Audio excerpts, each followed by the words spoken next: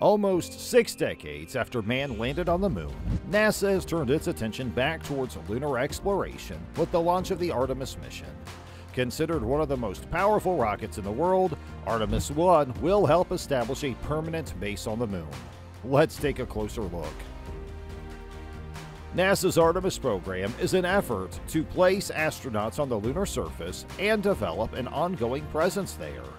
Artemis 1 launched on November 16, 2022, after having missed its previous launch windows.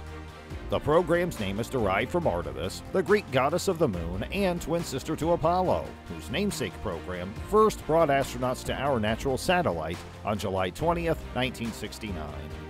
The Artemis program is a renaming of several earlier activities NASA was already undertaking to return humans to the moon. These were mandated by President Trump's Space Policy Directive 1, which tasked the agency with focusing on missions to the moon. In 2019, Vice President Mike Pence set an ambitious deadline to land humans at the lunar South Pole by 2024. Perhaps the most ambitious of the Artemis mission's objectives involves using the moon as a stepping stone for a mission to Mars. Robots have done all the detective work on Mars so far, but NASA now aims to send astronauts there by the 2030s. With a future target set on the red planet, the return to the moon will be used to provide us with the knowledge and tools to better navigate our solar system. Between 1969 and 1972, six missions took place in which 12 people walked on the surface of the moon, all of them men. For such a high risk mission, the most experienced astronauts were required, and at the time, there were no women at NASA who had suitable test flight experience.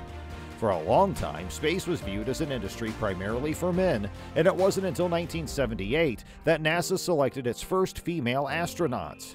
As of March 2022, 75 women have been to space, and the Artemis moon landing will serve as a reminder of changing times. While it's currently undecided who will be chosen, it will likely be one of NASA's astronauts who has already worked aboard the ISS. In December 2020, NASA announced the Artemis team of astronauts, which included nine men and women. In August 2022, Chief Astronaut Reid Wiseman announced that all active NASA astronauts are eligible for Artemis missions, with crew selections to be determined at a later date. At the center of the Artemis program are NASA's new mega rocket, the Space Launch System, and the Orion spacecraft. The SLS is a 322 foot tall rocket consisting of a core stage, upper stage, and twin five segment solid rocket boosters to launch a payload into space.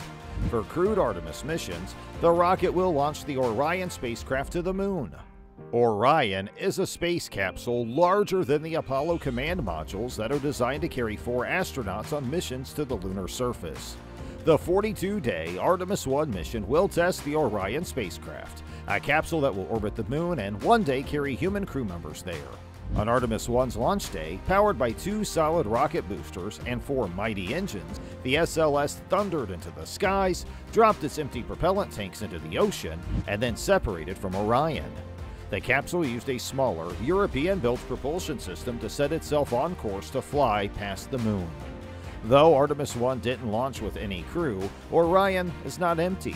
Stowed aboard the capsule is a suite of experiments designed to help keep astronauts safe on future Artemis flights, a major focus being exposure to deep space radiation.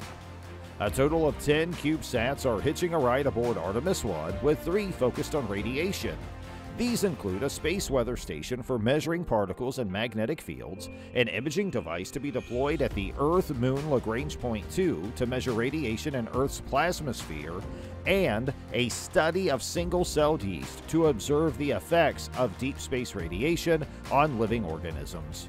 Other CubeSats will conduct studies of the lunar surface using infrared cameras to search for water, as well as near surface hydrogen in the permanently shadowed regions around the lunar South Pole.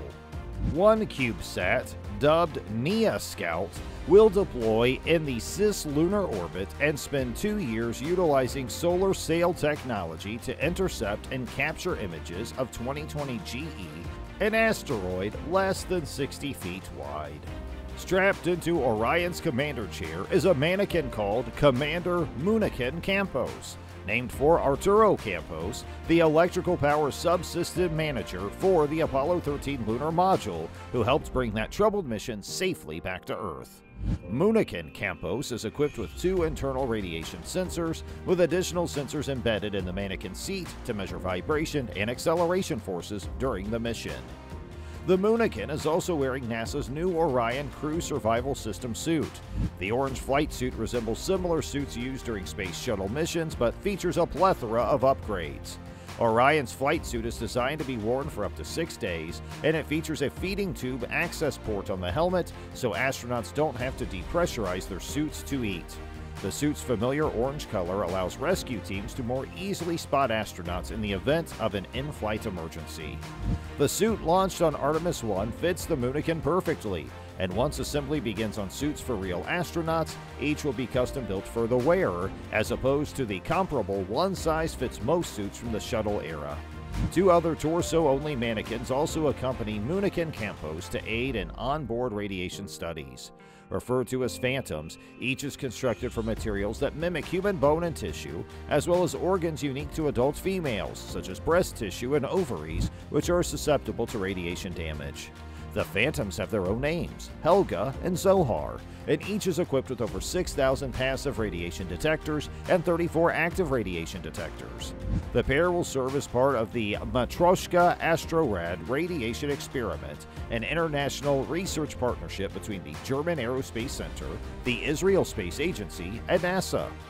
Zohar is wearing an Astrorad vest, which is designed to allow astronauts to leave shelter areas of Orion and other spacecraft during solar radiation events while maintaining their protection. Helga is not wearing the Astrorad vest, and researchers plan to compare exposure rate differences between Helga and Zohar upon Orion's return. The Orion spacecraft itself is also equipped with several radiation detectors. The Radiation Area Monitor consists of six passive sensors to record total radiation exposure through the end of the mission. And the European Space Agency has placed five active dosimeters throughout the vessel to monitor radiation levels in real time. A critical part of Orion's radiation exposure prevention systems includes the Hybrid Electronic Radiation Assessor. HERA is designed to serve as part of Orion's caution and warning system, which can alert astronauts to incoming solar particle events, allowing crews to preemptively seek shelter. Radiation in deep space doesn't just affect humans. Biology Experiments 1, which is also stowed aboard Orion, houses four investigations to study the effects of radiation on plants and fungi. The experiments will focus on changes in the nutritional value of seeds, how fungi repair their DNA, yeast adaptability, and algal gene expression. Researchers hope observing these different biological systems will lead to further innovations in the ability of humans to survive long term on the Moon and Mars. Space exploration leads to new scientific discoveries, significant economic benefits, and inspiration for people to reach farther and higher. It is not just financial expenditure with no return. It earns back in spades and sometimes in ways we can't predict. The invention of cordless tools and Velcro are often associated with NASA and space exploration. In reality, those were invented before the Apollo program. Although those weren't invented because of space exploration, there are plenty of things that have been. From memory foam to suits for race car drivers to cancer sniffing instruments. A landing on the moon also provided a unique view of Earth that showed our big blue marble in space.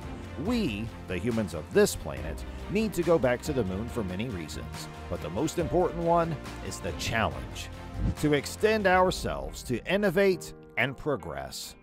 The effort put into this will lead to new ways to look at and solve problems not only for living and working in space, but for improving how we live and work on Earth. Once in the atmosphere, Orion began to soar through space powered by the interim cryogenic propulsion stage, a 45 foot long cylindrical system with one engine. As Orion flies toward the moon, a service module provided by the European Space Agency will course correct as needed, the spacecraft will complete up to one and a half revolutions in lunar orbit, where it will set a record for the farthest any spacecraft that can carry a crew has traveled. Then it'll fire its engines at just the right time to be propelled back toward Earth with the aid of the moon's gravity. Later, the Orion spacecraft will make a roaring return to our atmosphere, It'll be moving at 6.8 miles per second, the fastest re entry of any capsule built for humans. The craft and its heat shield will have to endure temperatures of 5,000 degrees Fahrenheit, a crucial part of this test mission since NASA can't artificially create these conditions on the ground. If it survives, Orion will splash down in the Pacific Ocean off the coast of San Diego within view of a U.S. Navy ship that will recover the spacecraft. Artemis 2 is scheduled for launch in 2024 and is expected to carry the first four astronauts. The Orion capsule will take the crew farther from Earth than humans have ever traveled before. The crew will complete a lunar flyby and return to Earth, evaluating the spacecraft systems while carrying humans. Artemis 2 will demonstrate critical functions including mission planning, system performance, crew interfaces, and navigation and guidance beyond low Earth orbit. After launching, SLS will orbit the Earth twice, firing its engines to build up the speed to push it to the moon. The entire mission will last approximately 21 days. Artemis 3 is the second crewed mission of the program and the first to land astronauts on the moon. The crew will visit the moon's south pole to search for water, study its surface, test technologies, and learn to work on a world outside Earth. This will see the next man and first woman step onto the lunar surface. Providing previous missions have been successful, the astronauts will shoot towards the moon using the lunar lander to lower two people to the moon's south polar region. They will remain on the moon for around a week. If you like this video, you may also like this one, which talks about a terrifying new signal the Voyager has sent back to Earth. Do you think NASA should set up a permanent base on the moon? Please share your thoughts in the comments section below.